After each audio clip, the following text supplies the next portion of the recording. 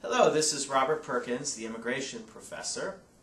Um, these are informational videos that I'm doing on various immigration topics. If you'd like to see all my videos, you can visit our website at www.immigration-professor.com or if you have questions about your specific case, you can contact our offices at 310-384-0200 we have offices in Illinois and California, and we service clients all around the United States because immigration law is federal law. And we'd love to help you with your case. Today I'm going to talk about a topic that's hot off the presses, and it's immigration reform. What is the current immigration reform proposal? What is going on right now? And um, what can we do to help support immigration reform uh, to pass our, our Congress right now.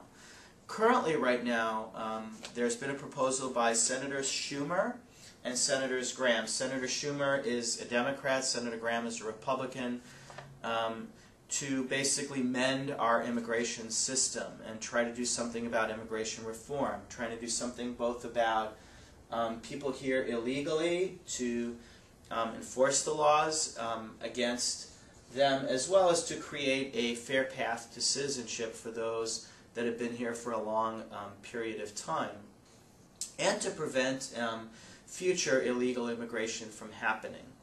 Uh, the other element of this is to create a system whereby people can uh, come into the United States more easily to work in professions that need work. So what are the elements of this system? There's basically four elements. This is um, an article actually from the Washington Post that talks a little bit about the proposal as it exists today. Um, the first element of the proposal is to require um, biometric social security cards. With technology today, um, we can now have a social security card which could actually be swiped. And the whole idea behind this is that there wouldn't be an actual government database that would be kept to monitor people because there are civil liberties concerns with that, but this would create a system that doesn't exist today where employers could actually verify with accuracy whether someone is legally entitled to work. Currently, what tends to happen is, you know, people can present a fake green card or fake other document to go and work employers are not necessarily required to be experts at verifying this, but there really is no system or no database whereby they can um, verify it currently. There is a database that's being used by certain government employers, but it's proved to be not accurate. So the, the proposal would replace it nationally where everybody would have these biometric social security cards and, and it would be able to be um, accurate. The second um, piece of this reform proposal, and again this is more on the enforcement side, is to come down against employers that hire um, illegals um, with pretty strict penalties. The penalties would be more severe fines than already exist. Right now, employers can be fined for hiring illegals, but the fines are low. Um, and I'll talk a little bit about some things that are currently going on even under the existing law against employers.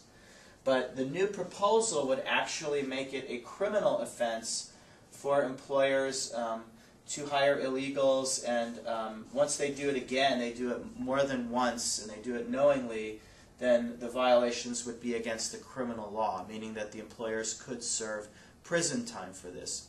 Currently what's going on is we are seeing a, a greater enforcement against employers, um, more raids by immigration against employers, and even in some cases the use of the criminal laws against employers where in some cases the employer may have done more than hire an illegal, they may have provided room and board, transportation, and what we're seeing is that the government is actually saying you are now harboring an illegal um, more than just employing, which is a separate crime, and they are actually um, uh, going after employers with jail time and pretty heavily heavy fines, sometimes in the millions um, of dollars for, for hiring illegals. So those are two proposals to sort of satisfy the enforcement element of, of, the, um, of the piece of immigration reform.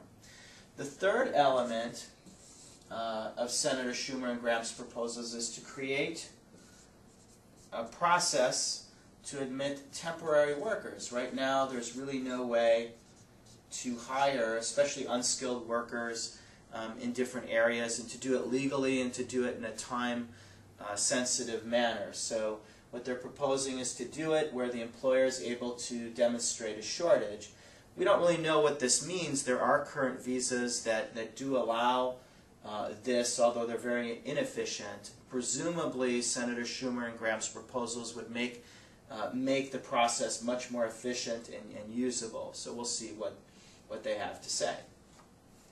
And the last element is, is to create a uh, path to citizenship um, to people that are here illegally. Um, the path to citizenship, of course, would include um, making them permanent residents first.